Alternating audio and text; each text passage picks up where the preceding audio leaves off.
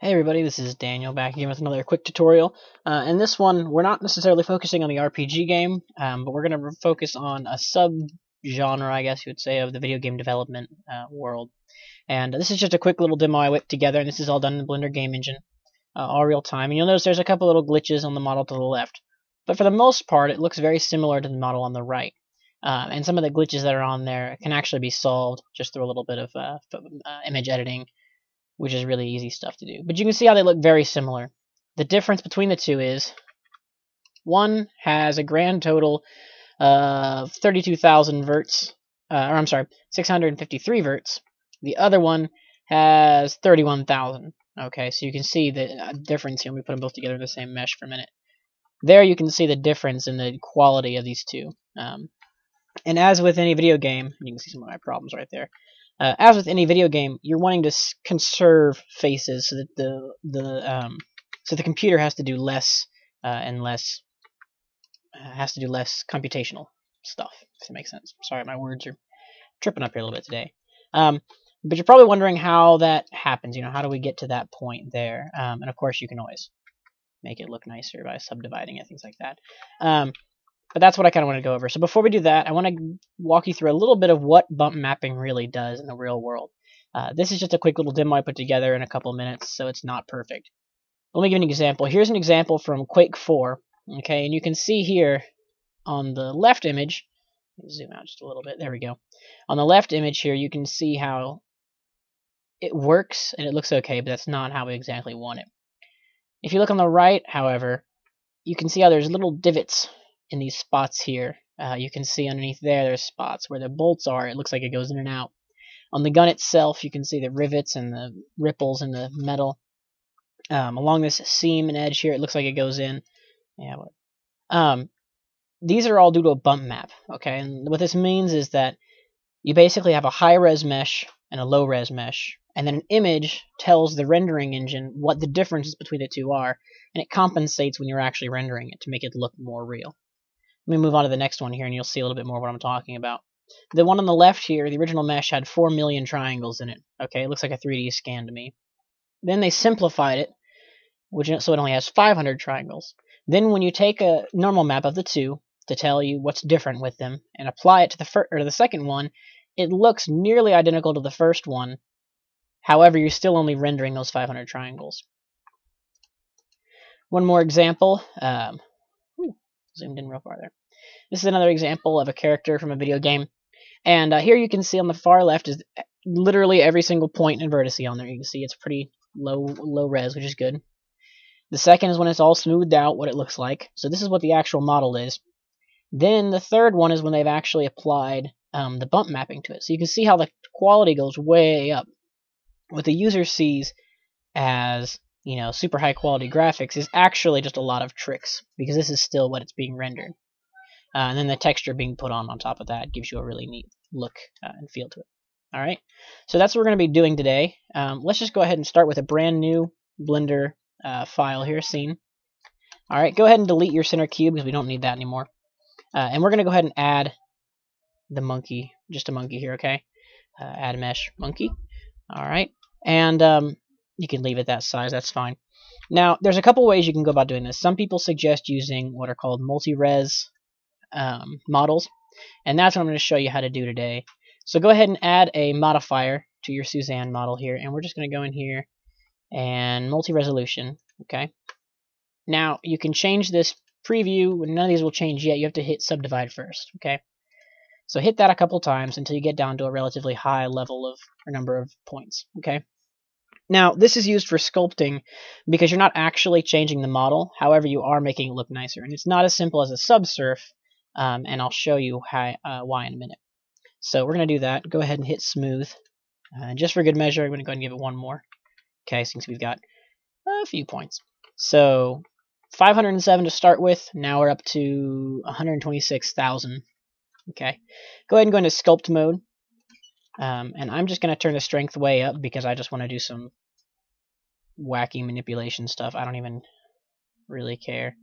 Okay, so here we're making it look like he's got some sort of like scar tissue all up and down his uh, body. We're just going to do some vertical lines there. Maybe some horizontal ones there. Some curly cues around there. Okay, so now you can see we've really messed up his face. Um, and part of the reason that we're going to get an odd uh, thing is because of that. But if we take this now, we take the preview down. Um, whoops, we're in sculpt mode. There we go. Now if we take the preview mode down, if you notice, until you get to zero, they still resemble the final mesh. They still look like the final mesh. However, they get less and less um, high quality, which is important. Okay, so for our highest quality one, um, go ahead and we're going to Shift D to duplicate, move it to another layer, just move it to layer 2, um, and go ahead and we'll just leave it like that for now. The first one, back on layer 1, you can see where we've got two layers here. Layer 1, we're going to bring the preview down to, we'll do 1, okay? Hit apply. And now we're down to 2,000 vertices. So that's, I mean, that's still a decent number for a higher, or for a video game mesh. But of course, in the real world, you could even simplify it farther. All right. Now what we're going to do is we're going to give this a texture. Okay, so go ahead and split your screen real quick. Open up your image editor. Tab to get into edit mode. With all the points selected, hit U, UV, uh, and Smart UV Project. Okay.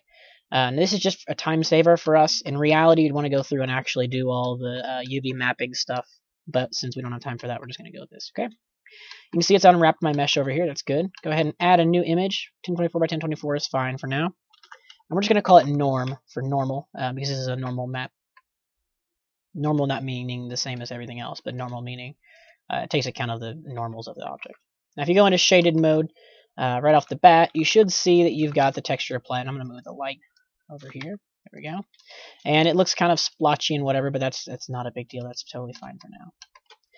Now, um, there's a thing called baking, so texture baking. And if you notice real quickly, if we go in here, you can see how the two overlay, uh, and they pretty much follow each other, with a with a couple little exceptions, but for the most part they line up, which is good. Um, texture baking is something very interesting. This is something so that you can take, um, for instance, an object. Um, well, here, I'll give you an example. Full render, if I were to bake it to this, it's going to fully render the object, but give me a texture that represents the full render. So see how, here how you can actually see the shadows and everything, when in reality the shadows aren't real, they're just rendered on there, okay? Um, another one you can do, and this is the one we're going to be using, is normals, okay? And if you bake normals, right now it's going to give you um, all blue. That means that there's no difference from this model to itself. And that's kind of obvious, you know, 1 plus 1 or 1 equals 1, it's the same thing. But when you take a second object into the mix, okay, and you select the high res first, then select the low res.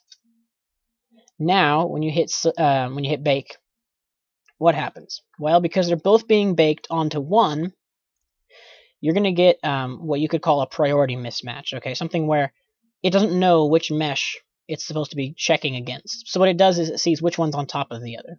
Okay, which one's farther away from it than the other. Yes, I know it's going slow. And you end up with some weird issues. So for one, like right here, it didn't even do anything. Okay. So the solution to this is by hitting selected to active. So this means I'm comparing the selected one, the dark orange, with the active one, the light orange. Okay. And at this point, hit bake. Um, in reality, it won't take this long to render it out because you're not having to run um, screen capture programs and stuff like that. There it goes. Now we have something that's different. Okay. And if we go back, go back into shaded mode, you can see how it's got this weird colored kind of hippie looking thing to it, okay? Uh, and if you look over here at your texture, you'll also see the same thing. This is where it's different. Any part that there's a different color, the rendering engine knows to interpret that as a change in elevation, or a change in its, uh, a, a variance between this model and that model, okay? Now, we're going to go ahead and switch into GLSL mode. The way we do that is just uh, switch into Blender Game, uh, and then choose GLSL under shading. Okay, leave all that as it is. There we go. We can close out all this stuff. We don't really need it. All right, let's go ahead and take these across. Uh, I'm just going to move the camera into position. In reality, of course, you don't really need to have a camera in position because you just don't. Uh, go into shaded mode, and you'll notice that our texture's gone. That's fine. Go ahead and add a new uh, material. I'm naming my monkey. I'm going to set the intensity all the way up just so I can get a better um, there we go, some better there. All right, we're going to add a new texture and call this one norm, short for normal because it's a normal map. Choose image, and then select our normal map image. Now you'll notice when we first start, it, gives it, it's kind of weird. It looks like it just kind of splattered it on the front of the monkey. Um, because we've told it what the UV coordinates should be, change coordinates under mapping to UV. There we go, and now it's wrapped on there correctly.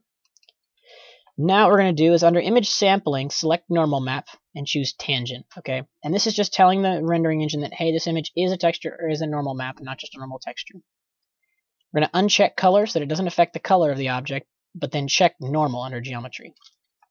And now we have what appears to be little bumps and creases and you know patterns on the monkey. And if we pull in the second, uh, the high quality mesh as well, uh, I'm just going to pull it over to the side so we can get them both, both in there.